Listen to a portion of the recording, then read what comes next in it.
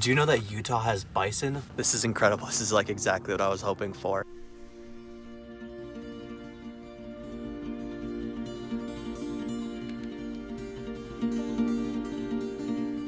Hey, welcome back to the channel. Thanks for joining me today. If you are new here, my name is Hawkin and I make videos of all sorts of adventures. And today I'm at one of Utah's most famous state parks, Antelope Island. So I made that drive behind me this morning, came on over to the state park and we have one goal today and that's to film as much wildlife as we can. Specifically, I'm on the hunt to find some bison. So even before reaching the state park, I had to stop along the side of the road because look at all these birds. They were moving around looking in the sand for food and all sorts of things. Just listen to them. It was so cute. How could I not? I just had to snap my first couple of pictures of the day, which I was really proud of.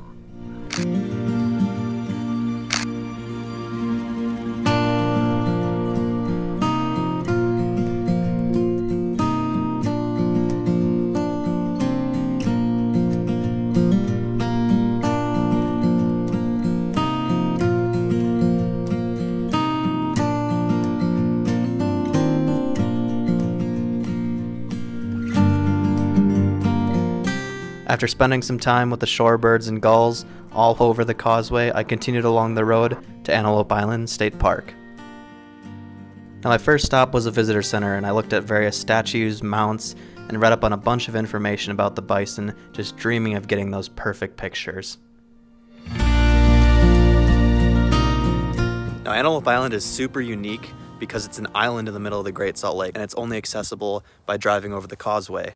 I've actually been to Antelope Island before. I hiked to the top of Frary Peak, which is the highest point on the island. We didn't get really any close to bison the last time I was here. They were on the other side of the island, which is only accessible by foot. So I'm really hoping we can find them today.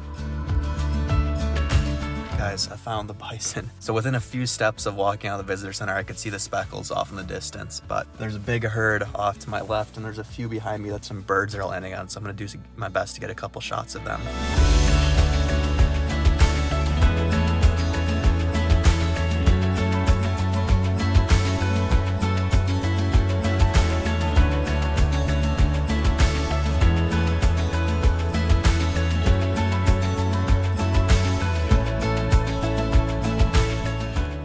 This is incredible. This is like exactly what I was hoping for. There's three bison off in the distance and these birds just keep flying around and landing on top of them. It's kind of funny. Yeah, I'm gonna go check out the rest of the larger herd behind me now.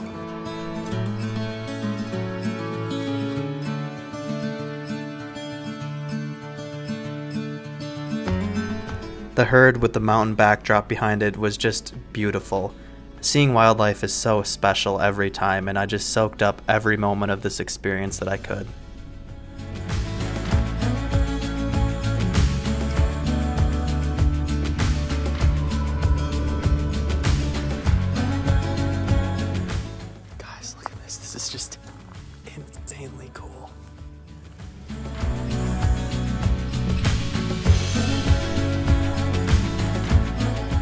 Remember those three bison from earlier that were off on their own? Well, they started making their way closer about to cross the road, and I got some of my favorite shots that I've ever taken.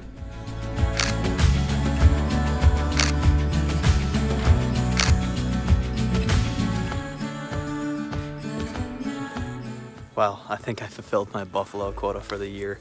That was incredible. I'm gonna continue driving around the island and see what other wildlife I can find, hoping maybe for some bighorn sheep or maybe some pronghorn as well. And maybe, maybe, maybe I'll find some birds of prey. Cross my fingers.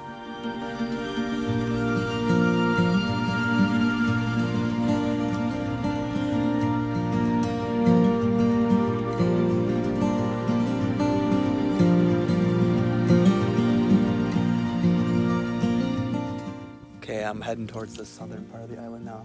There's a bird of prey pretty sure, And the trees behind me, so I'm gonna go see if I can get some good shots of it and tell what it is. Well, I couldn't ID it in the moment, but some friendly people from the Birding in Utah Facebook group let me know it was a northern harrier. The harrier flew away before I could get close to it, but that's okay because I continued to look around and find some other bird species too.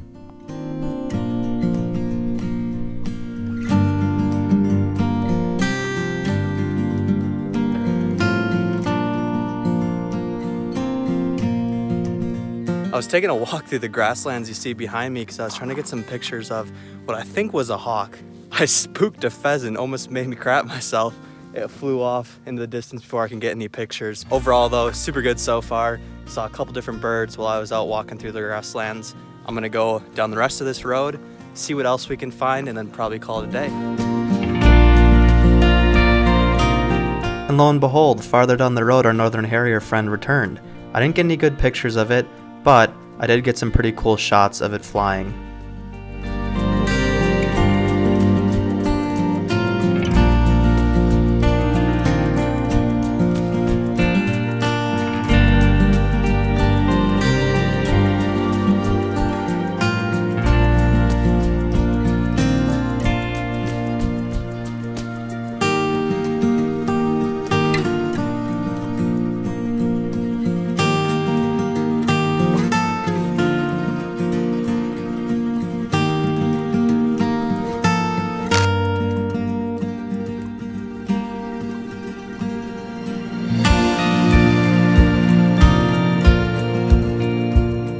Was an awesome day at Antelope Island photographing bison and doing a little bit of birding. Hope you enjoyed the video and I'll catch you in the next one.